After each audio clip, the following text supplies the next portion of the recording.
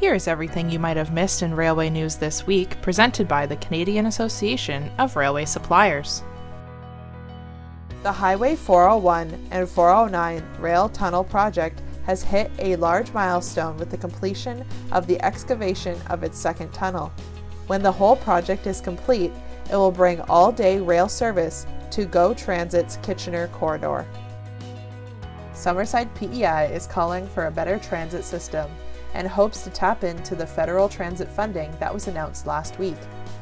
The city is currently running on a single bus transit system, so a proposal for a two bus system and clear routes and schedules has been brought forward. The City of Edmonton is planning a system wide shutdown next week for their LRT to test their brand new signaling system. Alstom Transport Canada was hired by the city in 2019 to design a new signaling system. Visit railwaysuppliers.ca/news for more railway updates. Have a safe and healthy week, and we will see you back here for the Inside Track recap next Friday.